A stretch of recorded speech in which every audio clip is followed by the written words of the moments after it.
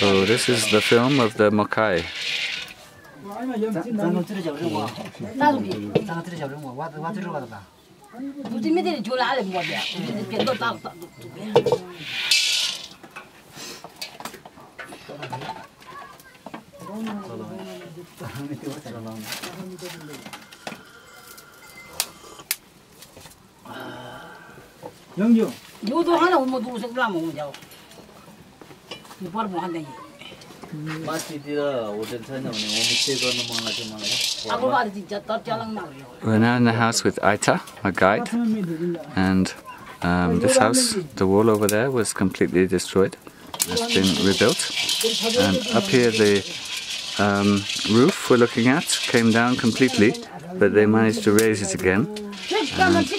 Um, fortunately, they weren't in the house at the time because seven of them were in the church uh, when the earthquake struck, and um, Aita himself was in Dhading Besi.